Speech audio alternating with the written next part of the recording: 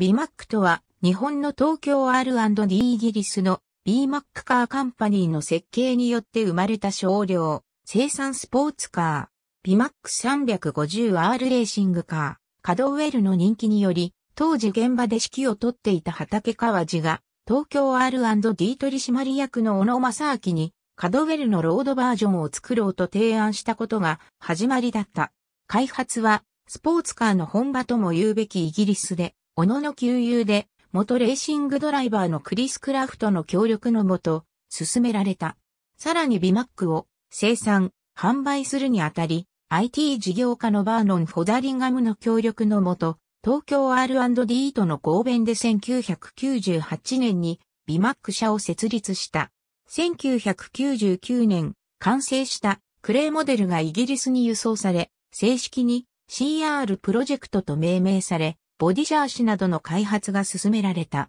そして2000年に BMAC RD180 の販売を開始した。エンジンは自社開発した際のリスクを避けるべく、動力性能、環境性能において優れている、ホンダ製の直列4気筒エンジンを採用し、自社開発のトランスミッションをミドシップに縦置きにした。フレームは東京 R&D で実績のあるスチールチューブスペースフレームを採用し、それをイギリスで改良し、軽量化、光合成化、安全性を向上させた。社名のビマックとは、この車の開発に深く携わったバーノン、マサーキ、クリスの名前のアルファベットから取ったものである。その後、ビマック社100%の出資による B マックカーカンパニーがイギリスに設立された。社長はクリスの長男であるルーク・クラフトが就任。ビマックの製造と現地での販売を行っている。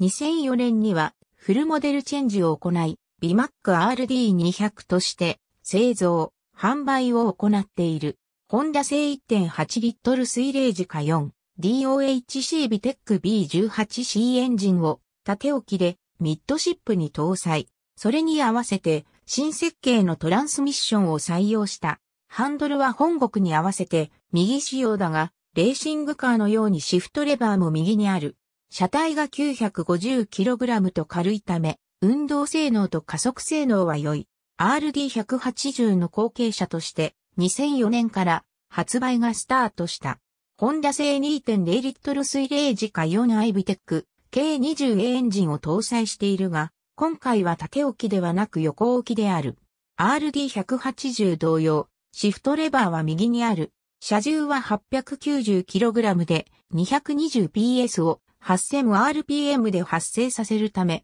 運動性能、加速性能は RD180 と同様にいい。価格は867万3000円。3台ともレース車両として開発されたマシン。2002年から2012年にかけてスーパー GT の GT300 クラスに参戦していた。詳細は R&D スポーツを参照のこと。2005年に発表。東京 R&D の電気自動車開発技術を活かして製作されたハイブリッドスポーツカー。エンジンは M-TEC 製 4.0LV8 エンジン MF408S を搭載し、モーターはピューズ製の液冷ツインモーターを搭載。システム全体で 802PS という高出力を発揮する。現在のところ市販予定はないが、東京 R&D ではこの技術を発展させて、レース参加や少量生産スポーツカーへの搭載を目標としているとのこと。また、かつて鈴鹿市のショールームで展示されていたこともあった。ありがとうございます。